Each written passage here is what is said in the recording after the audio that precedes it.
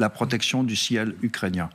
Et ça, c'est entrer en guerre avec la Russie. Si nous abattons demain un avion russe. C'est pas faux.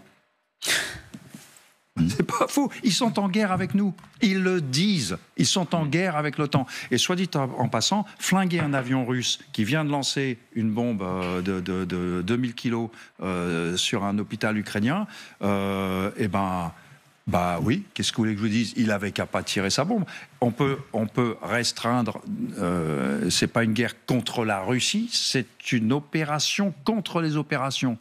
Là, le Poutine dit c'est pas une guerre, c'est une opération militaire spéciale. Et hmm. eh ben nous, on dit c'est une opération militaire spéciale, c'est pas une guerre. On n'est pas en guerre contre la Russie, c'est juste qu'on fait une opération militaire spéciale contre vos avions qui larguent des bombes.